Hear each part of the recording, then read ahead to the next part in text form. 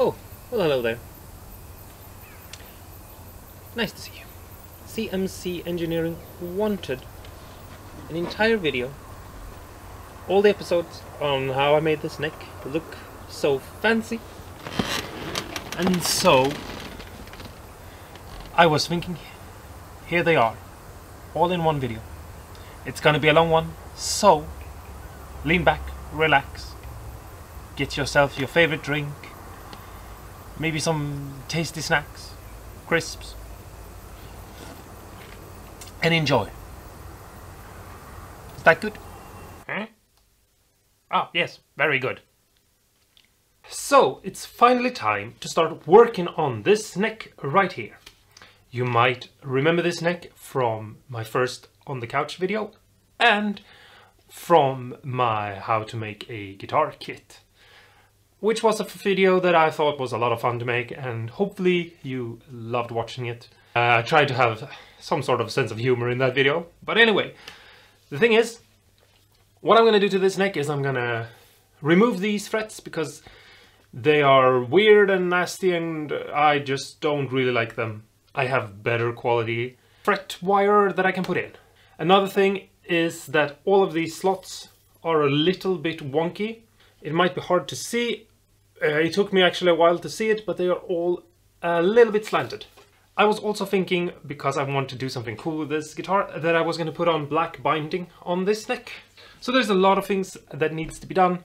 And so today we're just gonna pull the frets on this because that's the first step. And the proven method that I've seen a lot of people use is that they use a soldering iron and they just heat up one fret and they take it out that way.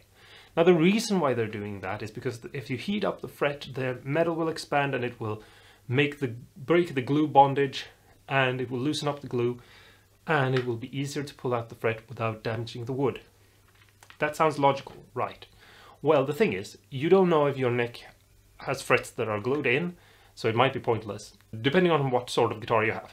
Obviously, if you don't know that, it's a safer option to heat up the frets and remove them that way. But thing is, if you have a flat head on your soldering iron, it's fairly easy to move on the fret, but you can still very easily slip and burn your fretboard.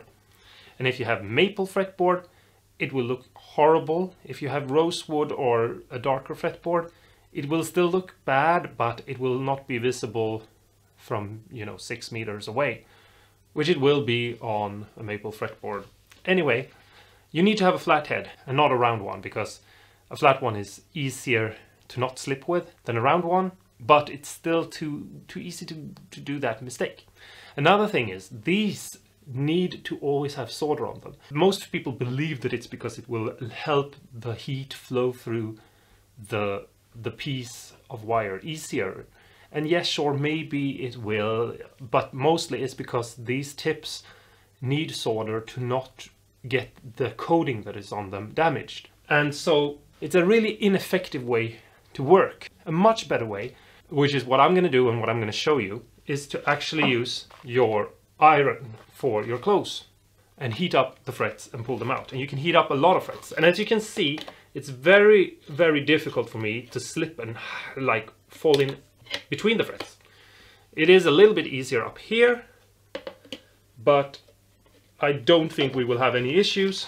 It's a safer, smarter way to work and you don't need to waste a bunch of solder on keeping your tip safe so that it won't be damaged because you're using it for something that it's actually not intended to. This means that we have to pop out the nut, but that's not very difficult to do. And as you can see, mine wasn't even glued in, so it actually just popped out like that. I was actually going to show you how to take it out, but it just fell out when I was touching it to...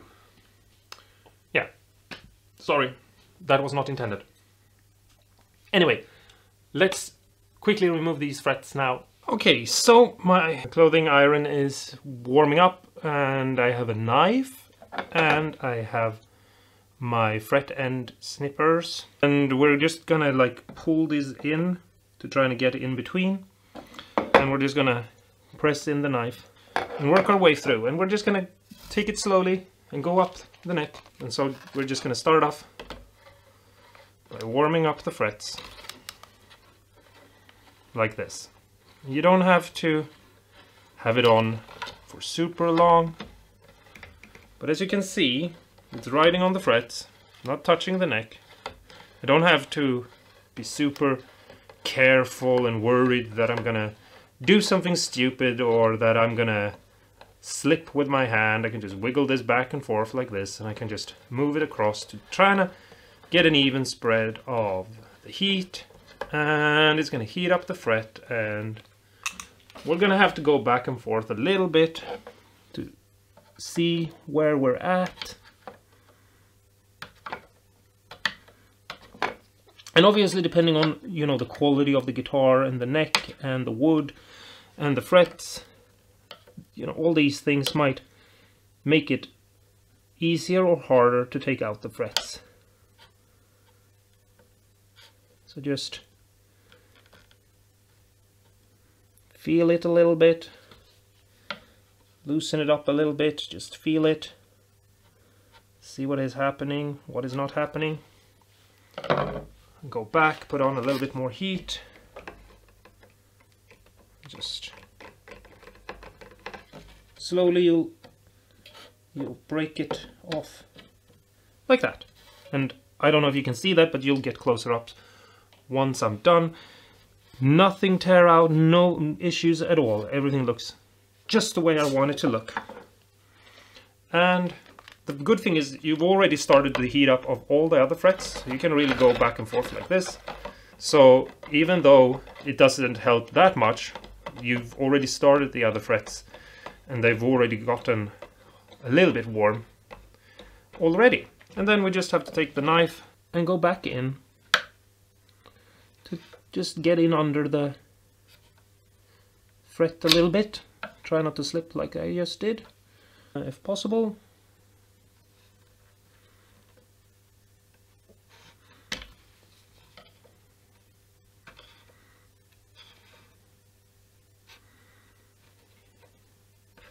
And then just feel it a little bit. I think I need a little bit more heat.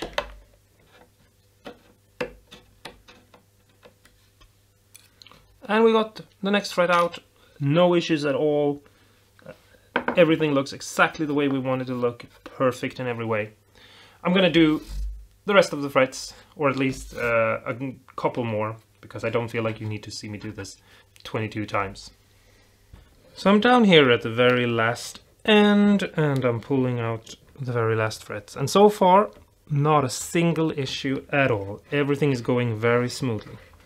And something that I just want to point out, except for, you know, not only the fact that, you know, I'm, I'm uh, I'm not getting any burns or slipping or having any issues of those natures. The way metal works is that if you heat it up, it takes a long time for it to heat up and then it slowly, you know, the heat will get away from it. So now I'm not only heating up the fret that I'm going to work on, I'm heating up the frets that I'm going to work off on after. And so I'm basically preheating them so that it will be even easier to take out once I'm done with the one I'm actually going to work on. And what's good about that is everything goes faster. And it's actually works so well for me that i have been able to heat up frets and take out two frets at the same time. And you don't need to use a lot of pressure. It might look like I'm using force, but I'm, I'm really not. I'm really just letting the fret come out by itself. It's popping out and I don't know if you can see it, but there are no issues. And then I'm gonna feel the next fret, and I can actually feel that, yeah, this one wants to come out too. And I don't need to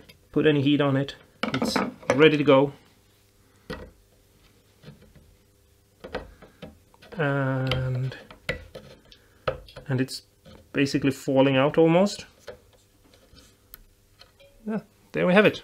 And the thing is, if you don't want to replace the frets, but you need to do some work or something, they're coming out perfect, basically. They're not crooked and bent and, and dinged and weird. I could put these frets back. I'm not going to do it because I'm not satisfied with the quality of these frets. Okay, so I'm at my last fret, and I'm showing you this just because I know someone is gonna ask about it, because eventually you'll have just one tipping point like this. And yes, obviously this is where you might get burns on the fretboard or something like that, but I would still argue that it is easier to hold this over the fret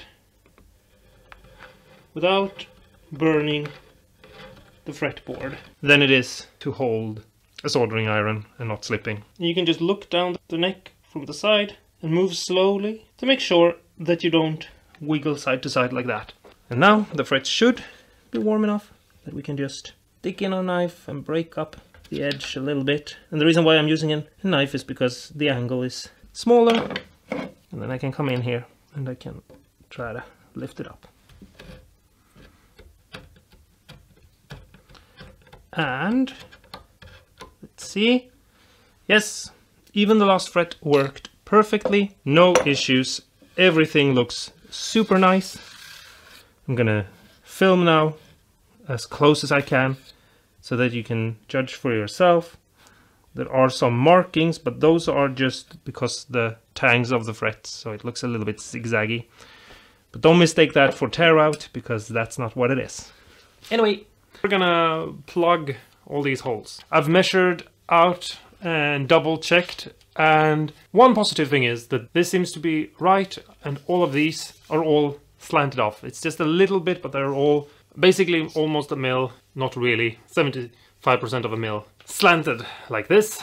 What I think is that they cut the... Uh, they have some sort of machine and they cut this slot right here first and then the neck got bumped or something and the machine cut all the other without any adjustment and so they got all mixed up. Now there are a lot of ways you could fill these. Uh, you could use some sort of, you know, putty, uh, synthetic wood, clay thingamajig. I don't know, I wouldn't recommend that. You can fill them with super glue and with, uh, you know, dust from tree, like sand dust. Will probably not look very nice and it will shrink and yeah, I wouldn't recommend you doing it. You do things the way you want to. If you have veneer, and especially if you have, you know, veneer of a wood that is similar color, you could cut out small pieces and glue in. That's what I would have done, but I don't have any veneer. But I do have a lot of lollipop sticks, as you just saw. And yeah, it's because I eat about, yeah, this many a day. That's obviously a joke. I hope you don't actually believe me there. This is 22 sticks, just like the frets, and I'm actually gonna put them down on a plank and run them through my planer thicknesser because these are about 2 mil thick or something like that, and I've measured the holes and they are half a mil thick and uh, yeah, need to get these down to where they are basically thin enough. So yeah, I'm going to show you how I do that, but if you have something near, you could go with that. It's going to be easier than doing it this way. Uh, and hopefully the new frets will cover these. Okay, so I completely forgot to film this, but it wasn't that exciting, so hopefully you will forgive me. Here's a piece of wood, two pieces of wood actually glued together to make a perfect flat surface. And I put some double-sided tape on it, and I stuck all my lollipop sticks down to it. And I'm gonna press them down a little bit like this to just make sure that they are really on there. And hopefully they are. And this one wants to pop up, but maybe I can force it a little bit. Gonna run it through my planer thicknesser now and uh, try to make them all become a little bit thinner. I am suspecting that this might not work, that I might have to figure out something else, but hopefully it will work. Because I feel like these are sticking up a little bit and they might be torn up and fly away, but I don't know, let's pray that that doesn't happen. I got nothing. Yeah, we'll see. Basically is what I'm trying to say. I'm not going to film pushing them through the planer thicknesser because I've filmed, you know, me planing wood with it before and none of those shots are really that good and they never really show what I'm really doing in a good way that explains it well. You're just basically just seeing my hands moving a board, kind of a meaningless thing to do maybe. If you are curious about the planer thicknesser and you want me to do a video talking about, you know, straightening up wood and making it ready, uh, you can watch my how to make a guitar body blank video. There's a little bit of it in there, but otherwise, talk to me in the comments below and, you know, I can make a video about that because there isn't that much to say, but yeah, maybe it's important what little there is to say. So, not all of them survived, but hopefully you can see they're really thin now. And so what I'm going to do is I'm going to glue the, these in. Uh, and because some of them didn't survive, I'm going to try to glue them in as far to the side like this so that maybe I have enough material left so that I can cover another fret as well. So let's just jump into gluing some of these in. I won't film uh, gluing in all of them, but a couple to see what happens. So a little bit of glue in the cavity, like so. And then we take our, our piece of wood and we just smack it in there. And it broke off, but that's actually okay because it got in there pretty well. And we can maybe even clean this up a little bit with a razor blade. Just move it up to one side and just let it pass along the fretboard because the, the fretboard is okay and that's where we're gonna play so you can just carve it away from there. I'm not gonna care that much about these ends because I am gonna put on binding but if you're not gonna put on binding you should be very careful and spend extra time making these edges look really nice. And once all of this has dried we're gonna sand it but that's going to be in between this video and the next one. It looks kind of awful right now, but we're going to recut this and put a fret in there, and I hope that it will cover most of it. Obviously, if you have frets that are like two mils off or something like that, then I would say that you're to have to do a really careful job with inlaying wood in the right orientation and really trying to find pieces that go together in a nice way. And it might actually even be better to just get a new neck or a new fretboard because it could be really difficult to do. You could obviously, you know, glue on a veneer or something, which I think I would have done if I didn't believe that I will be able to cover most of this up. I think that it will be a little bit wonky and weird if you're really close like this and you're really, really, really watching it to see for it. But if you're just holding the guitar in a natural way, far away from your face, I think it's going to be okay. So I'm just going to glue in a couple of more frets. So some of these are not uh, working for me because they're a little bit uneven. The trying to make all of them the same thickness didn't really work out. So I'm widening these slots just a tiny bit. And I know that this is maybe not the correct kind of blade to use, but it doesn't really matter because it's just, you know, like one third of a mil or something that I need widening and this blade has the right thickness and now I can fit them in and I just need some glue and I try to get as much as I can in there and let it squeeze out. Just take this and I press it in and because it's snug and tight I'll need a hammer to just bang it in the last bit. And it doesn't look that great, but hopefully once we sand it and even everything's out a little bit, it would look nicer. Okay, so all of the, fret slots are now covered. And I know it looks messy. I think it looks messy too. You can tell me in the comments below that you think it looks messy too. Uh, the thing is, this definitely needs to be leveled and sanded again. So I'm gonna wait for the glue to dry one hour, two hours, I don't know. I'm gonna go and do something else for a bit and then come back. We're finally gonna route the channel on the neck for the binding. Now, there are a lot of ways you can do this, and if you have a neck that you want to mod and put binding on, you might be tempted to do something weird, like put one of those routing bits that has a little channel cutter and run it along the neck. Well, the problem with that is the neck already has a radius and so it's very easy to mess things up.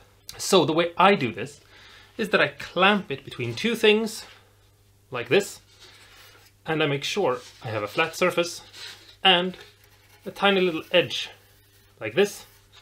And I just put my binding material on the edge along the edge like this and I feel it so that it lies flush with the piece of wood or in this case aluminium that is on top and basically is flush with the edge so that when I remove it there is a little gap. And I hope you can see that little gap there. It's like a little ledge So now that we route with our bit, it will hopefully work out great for us. This is also something you can make into a jig if you want to. I haven't done that because this is, you know, like the third time ever I have to do this, so it doesn't come up that often for me, basically. But maybe one day I will have to make a jig like this. So yeah, I'll make a video then about that. It will be super easy to do because you just need a couple of screws and two things that are straight and longer than your neck. Anyway, let's jump into it and get this done because after that we can remeasure the frets and, cut new lines in the fretboard for the new frets, which will be fun to install later. Okay, so I've adjusted my depth stop so that it will only cut as far down as the fretboard is and now I'm just going to run the bearing along the aluminium edge and let it cut away that tiny bit of amount that I need to create that new lip inside of the fretboard for the binding to sit in. And I'll go back and forth a couple of times and then I'll flip everything over and do the other side. It can be very fiddly to try and align these things up because especially feeling the edge and moving the neck and having everything clamped down and as you press here this will tend to move so you're gonna have to have a lot of patience and it's gonna be a little bit fiddly and irritating but after a couple of minutes of trying especially when you've done it once already it won't be that bad I believe in you okay so here's the neck right now I don't know if the camera picks that up but there is a little lip all around it. It doesn't look that good right now. Doesn't feel that good in the hand and have that sharp edge, but you know, eh, there's nothing you can do about it. Might as well just go home. No, uh, we need to reshape this a little bit to make it, you know, a little bit nicer, make it a little bit more easy for the binding to move around here. And then we can uh, move on to the next part. So let's just quickly see what we're gonna do about this. I have a file here that I've taken off the handle of. I will put back the handle once I'm done. And I'm just gonna clean up this edge a little bit. Go over it like this. Just a couple of times to make sure that it looks neat for the binding. So I put the handle back on. And now we can start reshaping this a little bit. Round over here. If you want to, you can remove a line of wood all across here. But I don't think that's necessary. It depends obviously on you're making something that is supposed to be maybe period correct or something then you might want to make sure that this has the exact right size and shape and everything. I'm just going along with whatever is happening, hoping that it will work itself out. So I've rounded it over a little bit more there than here, so I'm just gonna... Another reason why we have to reshape this a little bit is because we have to remove the finish so that we will get to the bare wood. And also in my case, which, you know, might not be the same for you, this was actually sort of messed up and looked a little bit wonky from the factory. So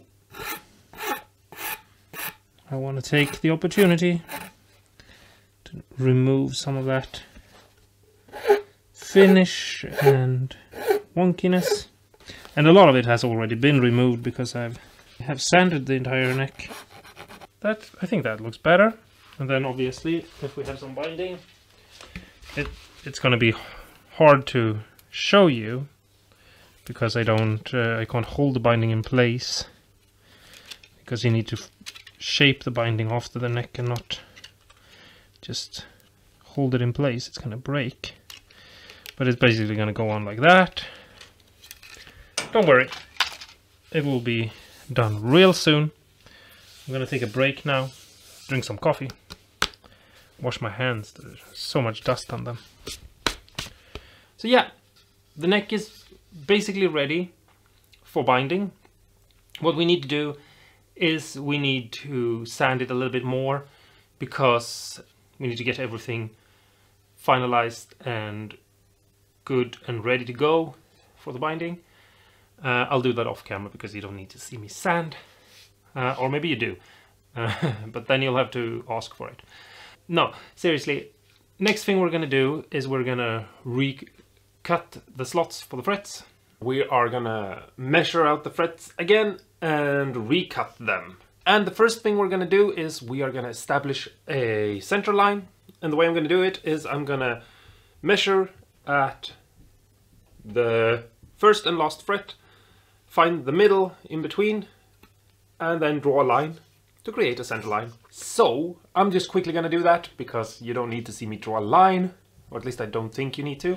And then we are just gonna um, measure out the frets and I'm gonna show you how I do it. I have this tool from Crimson Guitars that lets me do it real quickly. You don't need that tool. If you don't have it, you can look up the measurements online, but it's a special kind of ruler, lets you do things fairly quickly. And this is one of those things that I feel is an okay sort of thing to buy because it makes something that can take a lot of time because you need to measure and remeasure and measure again a bunch of times to make sure you're doing it correctly. This saves you a lot of time because it's a ruler, all the frets are already marked out. So yeah, if you're gonna buy something from Crimson Guitar, it should be that ruler.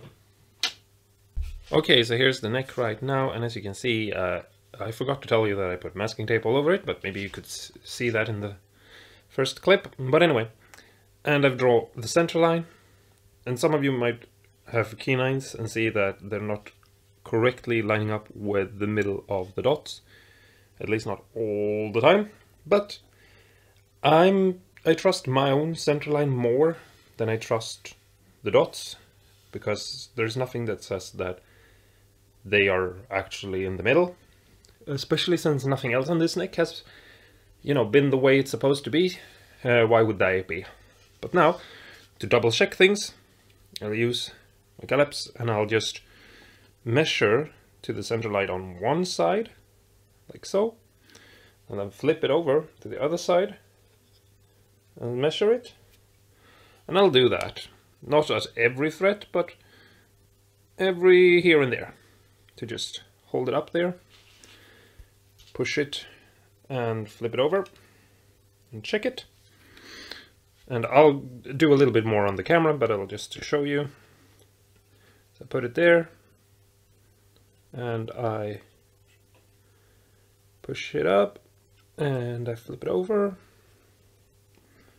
and I check it and I can see that everything looks the way it's supposed to look and nothing is weird and strange. My central line has split the neck evenly into two rows. So now we can measure out the frets. Here is my Crimson Guitar fret ruler. Uh, I hope you can see it. But basically it's just a metal, is it a piece of metal? You can make one of these super easily. You, I mean, like if you really don't want to buy it. To me it's like, ah, it was a nice investment to make something that can take a lot of time go faster.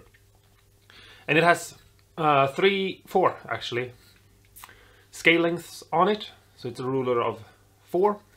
It has a PRS and a Fender and a Gibson and then it has something else that I don't actually know what it is. I think it's just a smaller one. To be like, ah, if you want to build something that is even smaller than, than um, Gibson. Shorter is what I mean, not smaller. What the hell, come on. Ugh. Anyway, we're gonna use the Fender one. So let's just jump into it. Okay. So this is what I've done. It might be hard to see and if it is I'm sorry but it's difficult to find the right angles to film things in where you can see everything. The center line here, I've matched this up to the center line and it's held down with double-sided tape. I put a piece of tape here because one thing that I don't like about using this is that things can go too fast, which is not obviously not you know a fault of the tool. It's force of habit of using something. But anyway, what that means is that I put a piece of masking tape on and I write what scale it is I'm going to use, which is the 25.5, and then I make an arrow pointing towards the scale so that I don't accidentally tape down the wrong thing and, you know, mess things up. I've done that before and then wondered why things aren't, you know, working, and then I've had to switch out the neck for something else and use that neck for something else you know, because it's like, ah, it's the wrong scale for the wrong body. You know, that's the sort of thing that can happen. It is put down to the center line, so the center line goes along here, and I've made sure that everything is exactly where it needs to be. The way these works is that the line here that is for the nut, which you, you can't really see, but it says nut here, it goes up against the inner cut of the slot for the nut.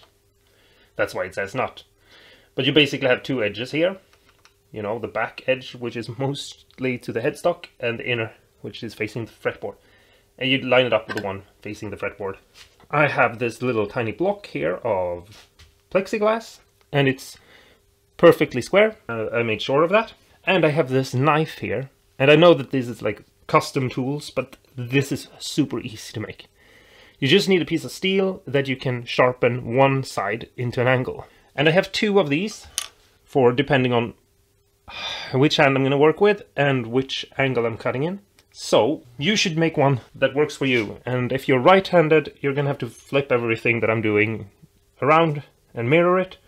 And if you're left-handed like me, you can work like I'm doing. So I have this edge here, and the edge uh, is facing away from the block, so I'm putting the side next to it that is flat. I hope this makes sense. So now I can just line this up with the first mark of the fret and I can make my first cut. And then I can move on to the next. And third. And because this is facing the middle and it's perfectly centered and this is perfectly square I am cutting these and I am making everything perfect. So I just need to make sure that these cuts will line up perfectly, basically. And then when I take this off, I will have scored lines that are perfectly straight and perfectly squared up to the center line and in the perfect place.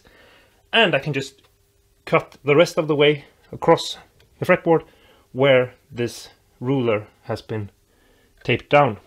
Again, here you can see a close-up of the scored lines Okay, so slight issue occurred because we have a tiny bit of wood underneath that is, you know, weird pieces of wood that aren't supposed to be there. And we're basically trying to recut on those. They want to guide things to be off-center again. And so I can't trace the line over the way I was going to do it, which was with a knife like this, because it guides the blade.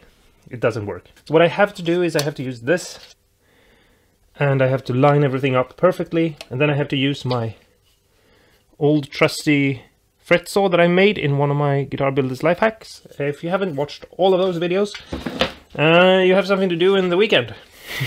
no, but seriously, uh, this is a great tool because it has like a guideline for how deep to cut the frets and everything.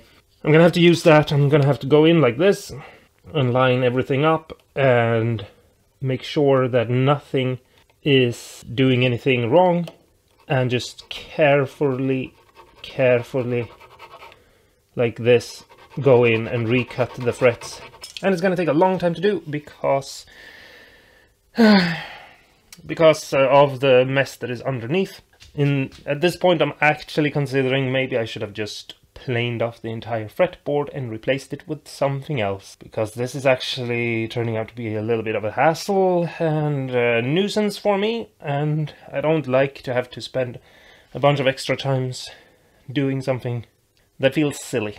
But anyway, I'm gonna do this, I'm gonna try to do this, I'm gonna hopefully not have to resaw and replug any of the old fret slots because that would be very annoying because of all the issues I'm having, I need to establish the other half of the line again while I'm cutting it.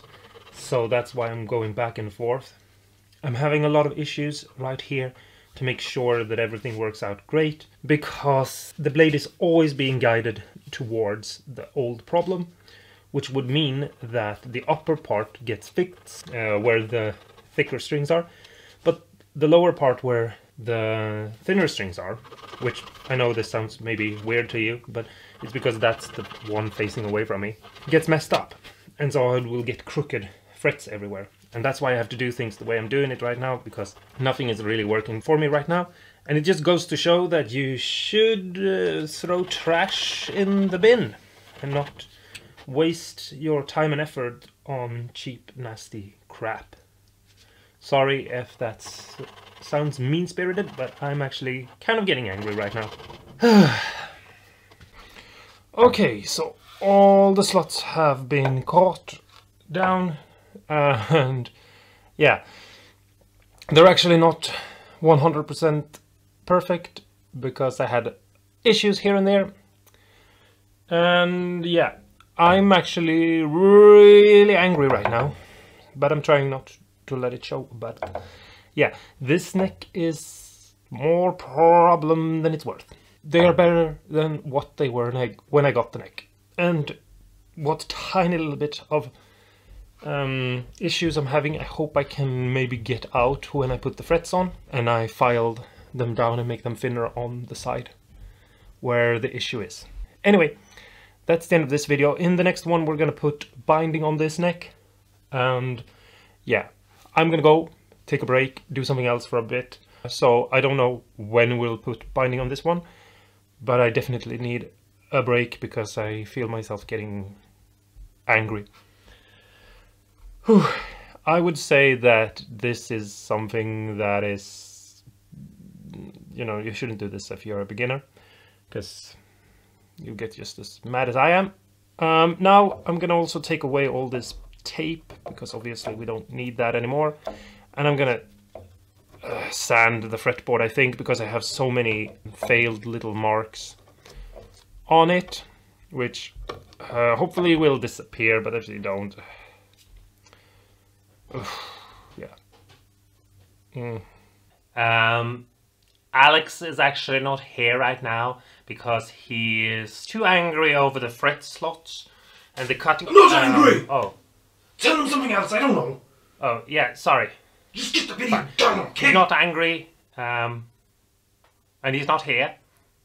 Um.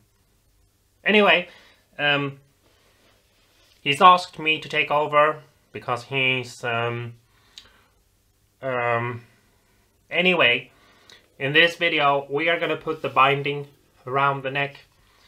And yes, I don't know. Um, let's begin to put the binding on. It's fairly easy, so even I, who is actually a male male and who's not really into this, will know how to do it.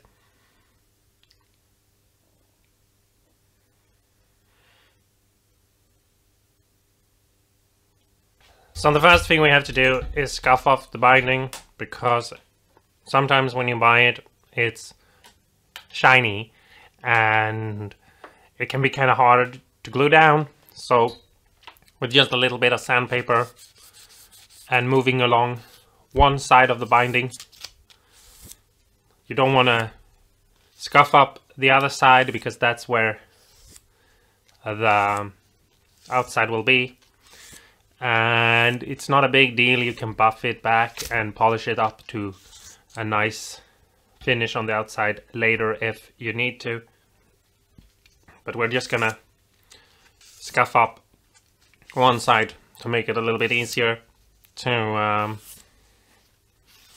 to glue it down and as you can see it goes fairly quickly you don't have to be an expert. The next step is to start gluing down the binding. So put a dab of glue on the neck where the fret slots are not and hold down the binding where you want it to go and add just a little bit of tape like so. Move on to the next.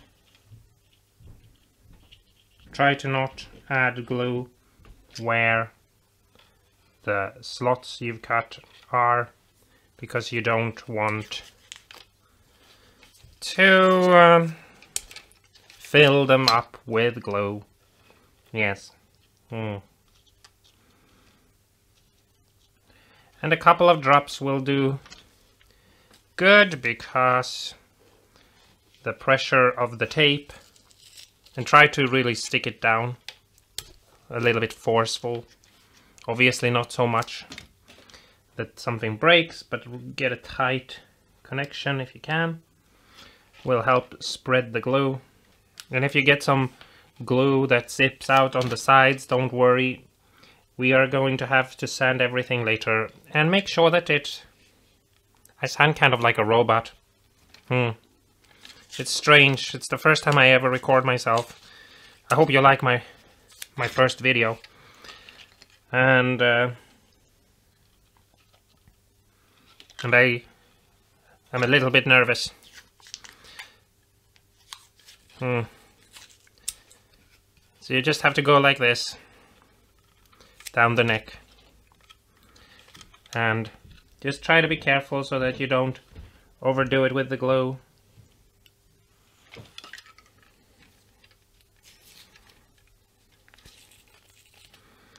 Just try to use the tape as as a um, as a clamp basically. And as you can see we're going down the entire way. Alright so I've moved up to here. I've um, made a mark on the tape which maybe is a little bit hard to see but it's basically where I've stopped the gluing because now we're going to heat up the binding with a heat gun and try to shape it so that it lies snugly along here. And we're going to try to do this with as little heat as possible. So we're going to take our heat gun and we're going to try to face it away from where the glue is and apply it quickly so that we don't get too much.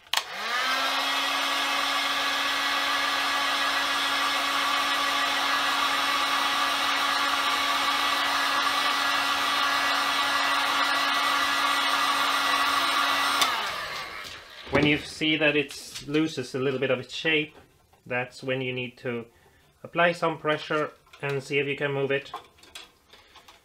And I'm going to use my hands and I'm going to use a screwdriver because they're smooth and they are easy to work with to try and press it in place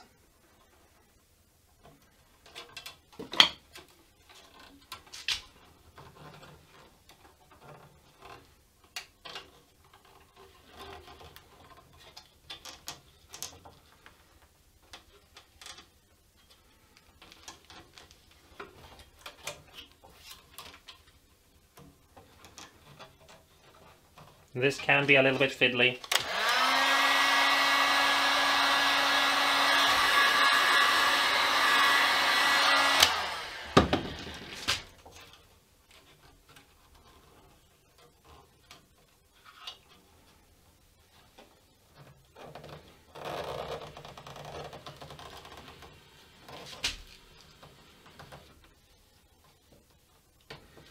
But just hold it in place and heat it up again.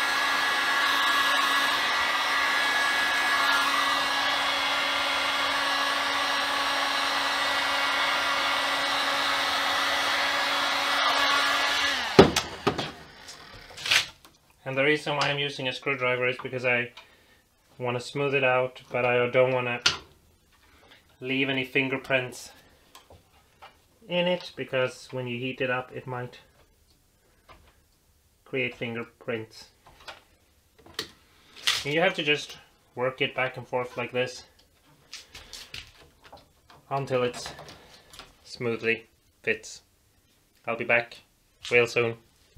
Mm, yes, so I don't know if you can see it very well, but the binding is in its place and I have a bunch of tape and everything just looks kind of, it all looks kind of messy, but once the glue has dried, which will only take, let's say 10 minutes, but we're gonna wait for maybe half an hour or something, just to be sure, we can take it off.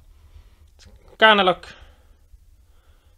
it's gonna look as good as this neck possibly can look. So while the glue is drying, there are a couple of things that maybe could be good to know, to think about while you're doing this. And one thing is that it's near impossible, I don't know if you can see it, but it's near impossible not to get glue on your fingers. And that's very annoying because super glue, it's annoying. Yes. Hmm. Next thing is, because you have to work quickly, a good thing to try to remember to do is to have small pieces, strips of masking tape ready so that you can put on a little bit of glue and then just press the binding in place, take a piece of tape, put it in place, make sure everything looks the way it is, move on to the next bit where you put on some glue and stick it down with a piece of tape. And so having a nice surface to do this and a place where you can put down 15 pieces of tape um, that are about like maybe a thumb's length is a good idea. So you don't have to roll out a new piece and put it down. Will save you time and will help if you have super glue that uh, dries very quickly. So yes, keep that in mind. Was that good? Yeah, that's fine, I suppose. So here we have the neck now and everything is looking all right. I'm just gonna dab a tiny bit of glue along the top here just to fill any small little gaps that might be here that I am not seeing. And I'm using a very very tiny amount so it should dry fairly quickly. And sink in fairly alright and now while we wait for that to dry we can come in with something sharp and start to try to match up this edge here so that things look right. I'm going to try to do this in a way so that you can see what I'm doing. Which is actually harder because it means I have to hold things in a way that I'm not used to. Not that I'm used to, you know, working with wood at all. And the same on this side.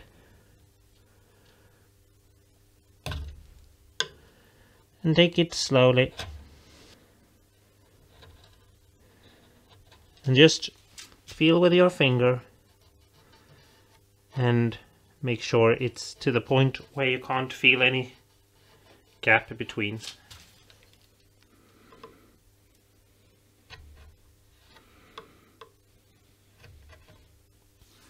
Something like that.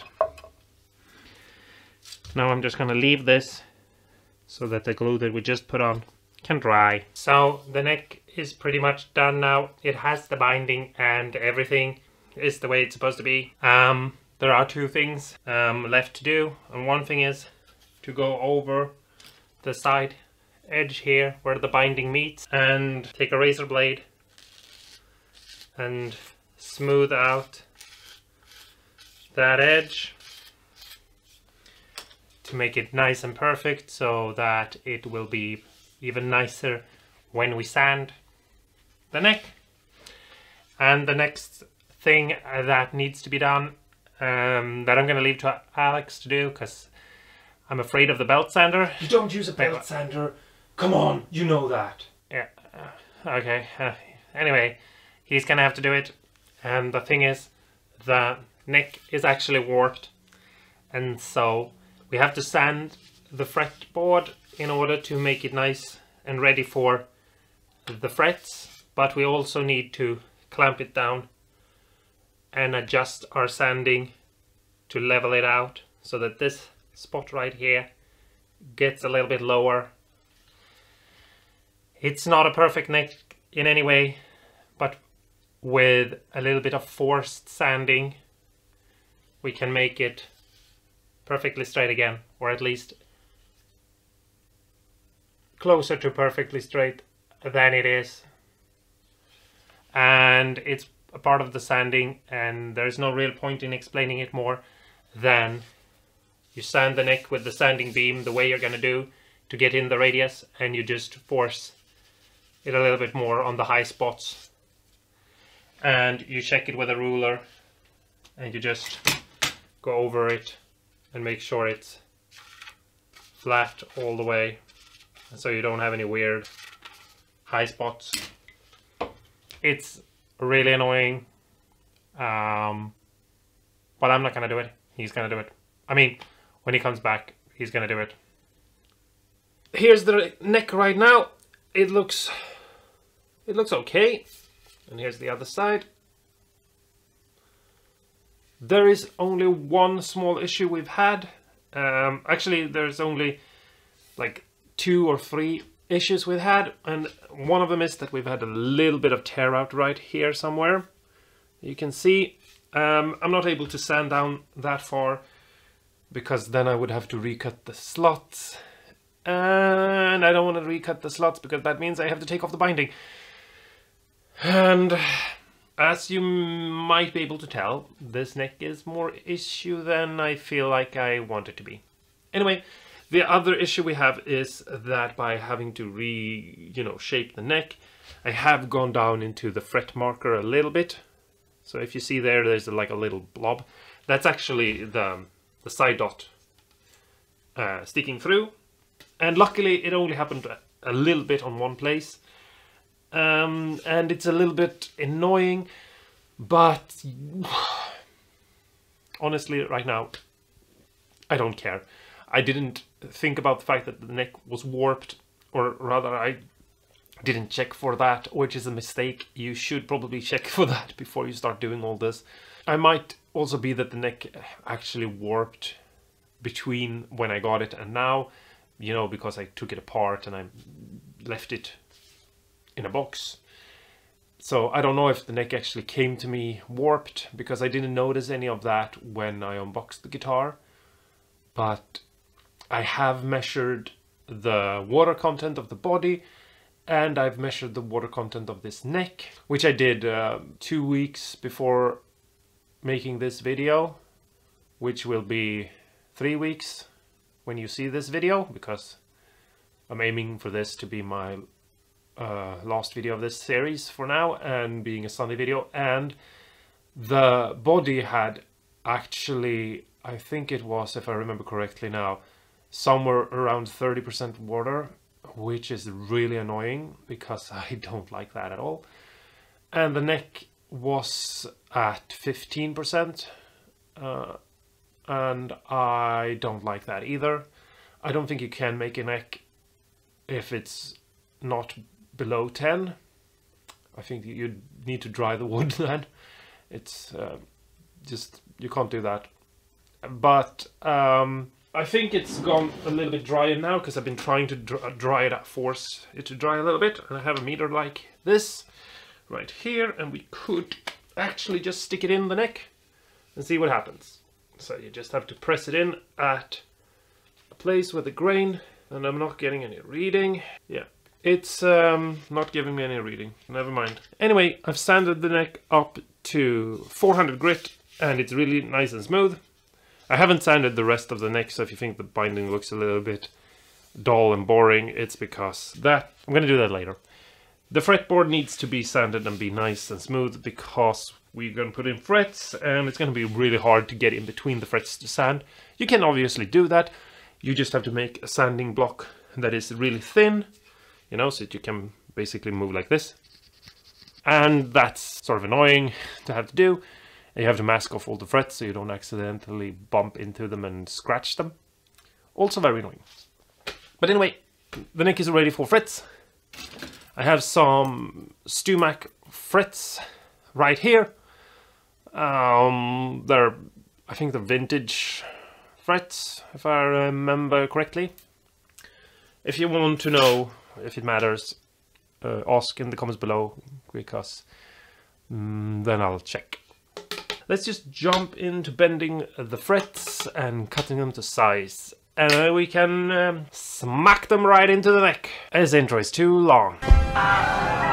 Okay, so here we have my fret bender, or whatever they are called.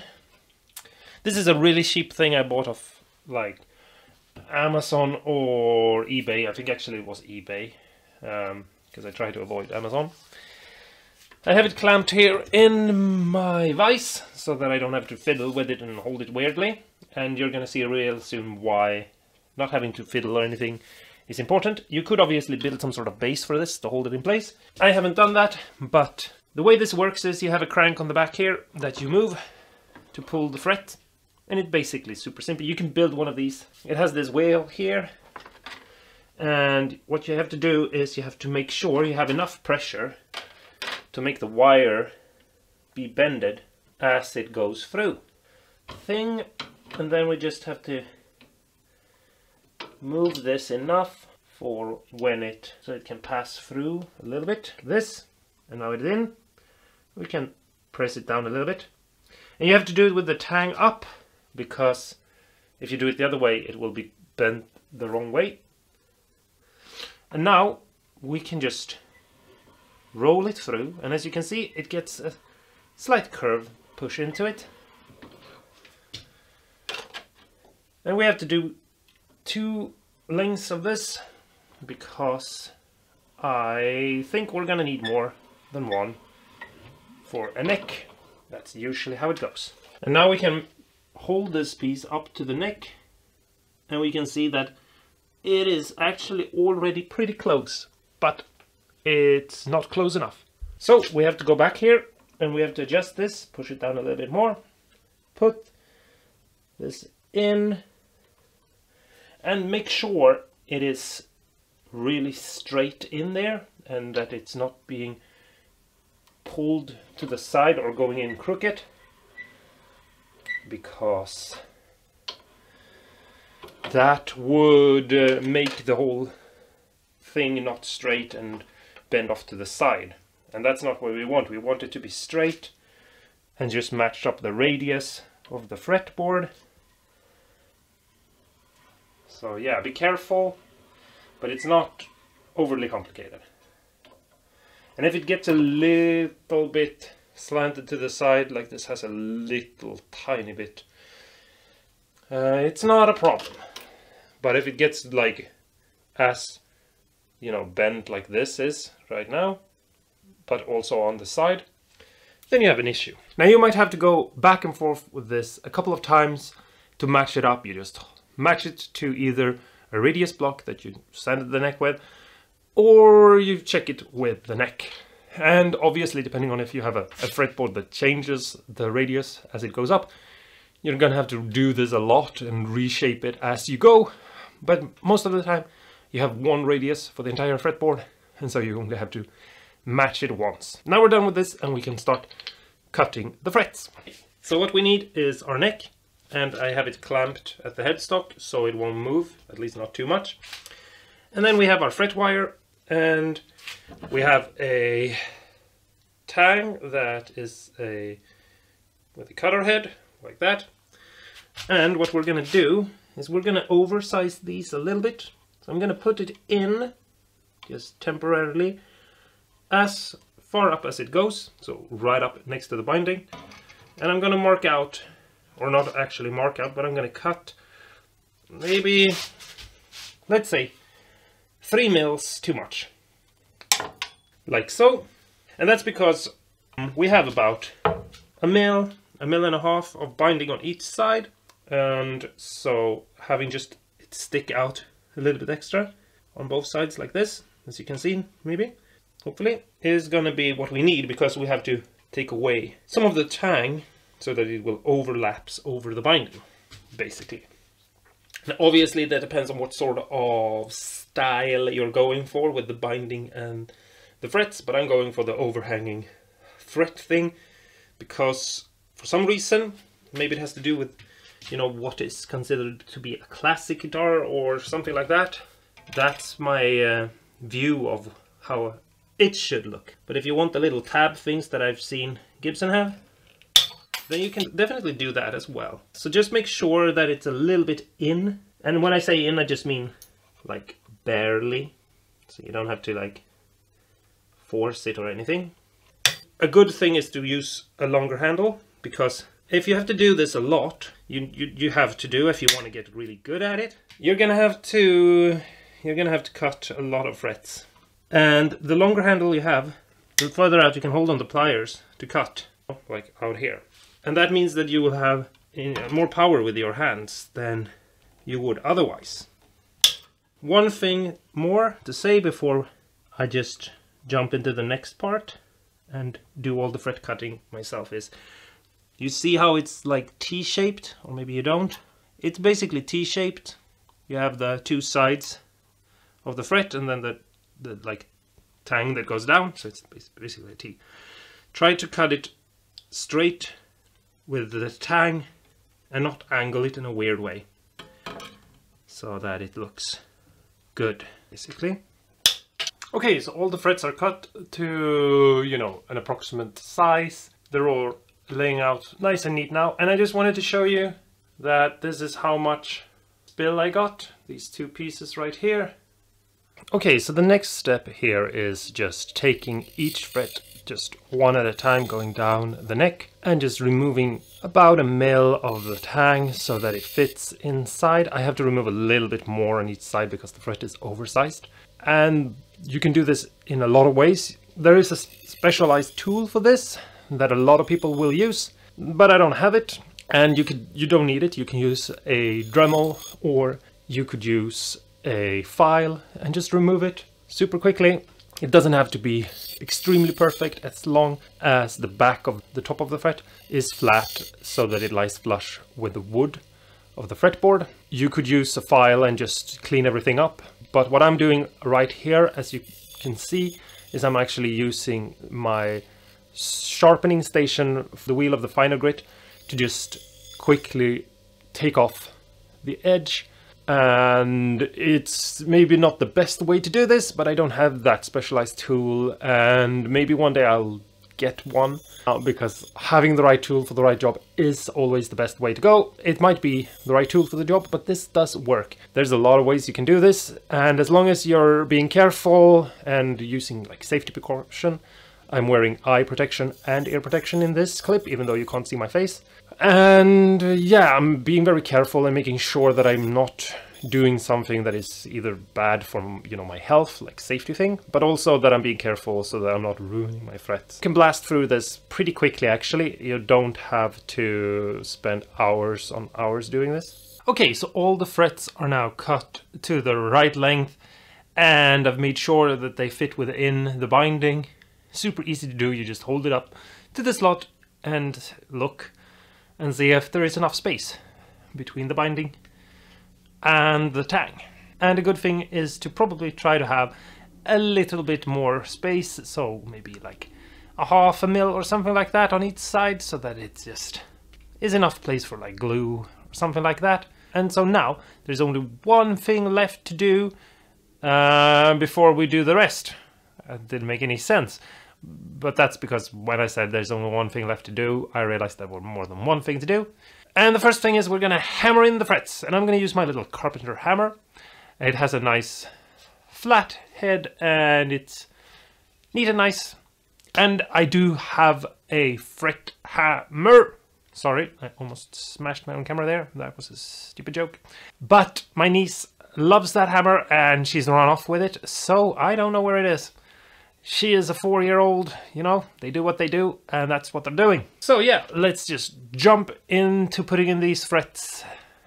And it's going to be super easy. All we need to do is we need to just take one fret at a time and just apply a tiny bit of glue and then just push it into place, make sure it looks right, and then just tap it in with small little blunts You can use basically anything that is a smaller sized hammer to do this. You don't need to go overboard. And just, you know, tap all the frets into place and then make sure there are no gaps or anything weird. We need the glue to make sure that the fret end where the binding is and there is no tang doesn't get lifted up because that can be a space for your string to get caught, especially the higher E. And that's, you know, like a disaster if you're playing live or something like that. If you're playing and all of a sudden one of your string is, you know, caught on something and it can't move. And you're basically just playing maybe, you know, the 17th fret on your high E string over and over again, no matter what else you're playing. That could be a complete disaster. So it's really important to make sure that all the little ends that sticks over the binding are neat and nice and that they truly are stuck down so nothing can get in under.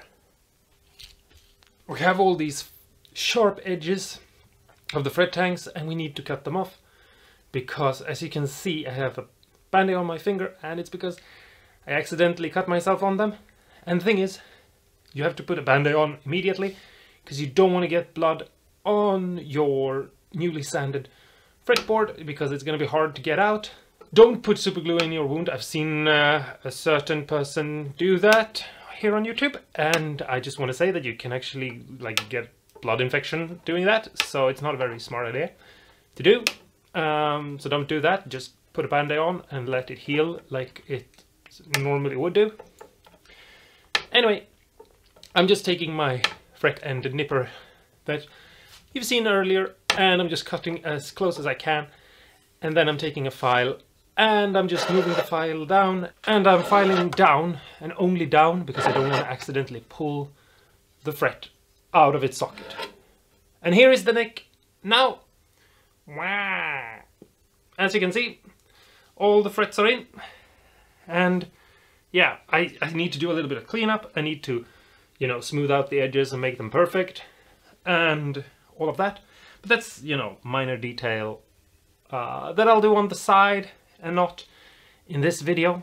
I also need to clean up some of the super glue that has spilled out on the side a little bit. It looks a little bit messy, but I'm going to clean that up.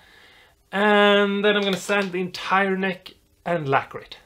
But I'm going to do that later down the line. Uh, I'm not sure when, because I want to think about what I want to do with the body first and make sure that this neck matches it.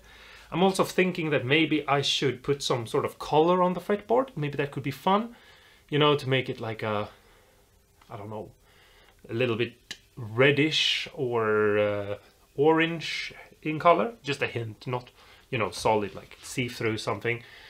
Uh, so that it matches the back of the neck a little bit better, but also because it might be fun. I, I, I have no idea. I'm not sure what to do, but that's something I'm thinking of. I'm also, um, you know, I'm thinking that I'm gonna clear coat the neck, but I'm also thinking that maybe I will reshape the neck because as you know, I already have one of these guitars, the one I used for the kit build of this guitar or that I'm using as a kit.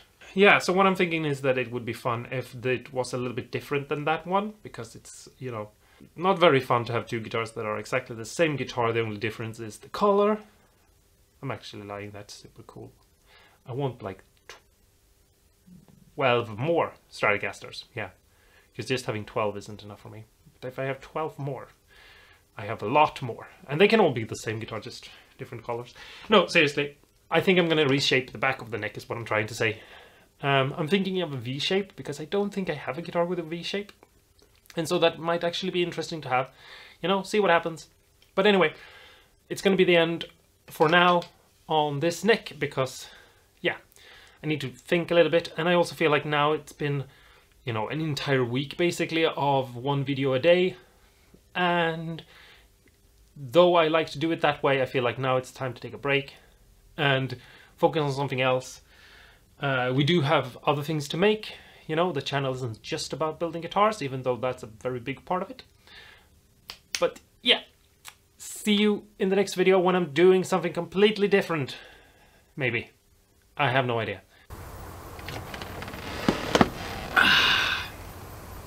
Thanks so much for watching.